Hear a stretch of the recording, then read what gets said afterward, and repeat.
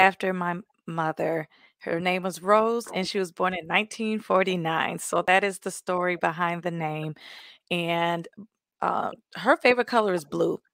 So in my logo, there has a, a, blue rose in it, and blue rose means to attain the impossible. So it's a fashion boutique. I started off with accessories. Then I started doing handbags, and then I just went full blown and did the whole shebang with clothes and everything. So, okay. in fact, I got one of the earrings on right now. Uh, so I always like to rep nice. my brand with that. And then, um, so yeah, I started back that back in 2017, and then I started Survivors Corner 2021. So again, that's just the go-to place for all cancer survivors. Eventually, it's going to expand to anyone who's a survivor. So domestic uh, violence survivors, um, people who are dealing with teenagers, survivors, just whatever. um, but right now, we're just concentrating on the cancer community to just give you